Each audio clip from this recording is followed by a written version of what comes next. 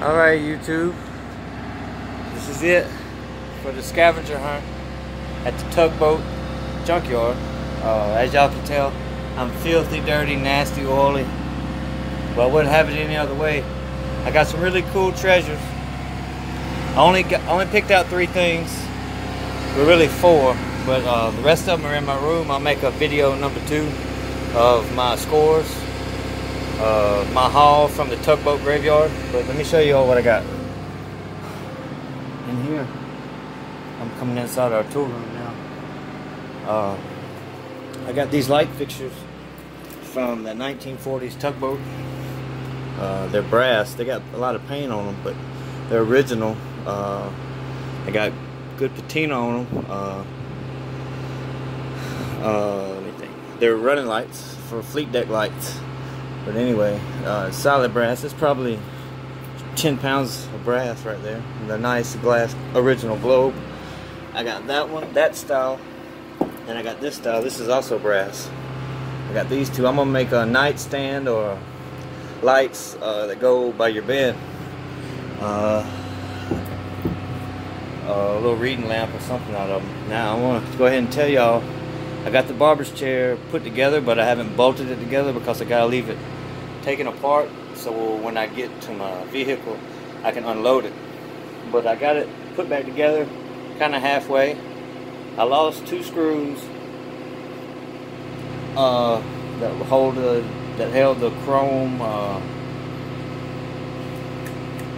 the chrome uh, I can't think of the name right now, but the chrome trim around the seat, but I can get some brass. Uh, easy, those will be easy to replace. But uh, like I said, this is about a three thousand dollar, four thousand dollar chair. It's in really good condition. It's 1948. So cut the volume down now, and I'm going to show you the chair because I have to keep it in the engine room because I don't have any other room on this boat for it.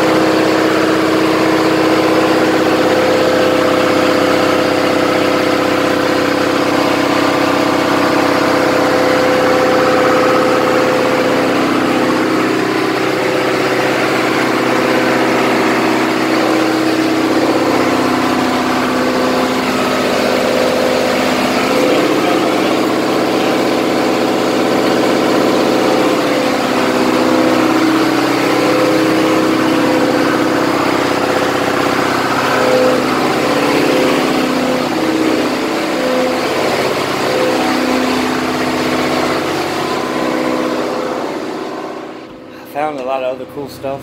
I'm finna make a video number two. Uh, found some compasses and uh, a brass bell. Uh, the brass bell itself is worth about $700.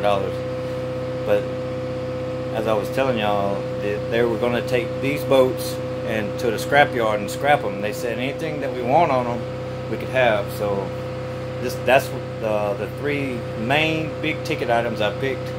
And I'll have the short recap uh, the second video of the compasses and other little knickknack stuff I got. But I hope you enjoyed this video. Don't forget to like, share, and subscribe.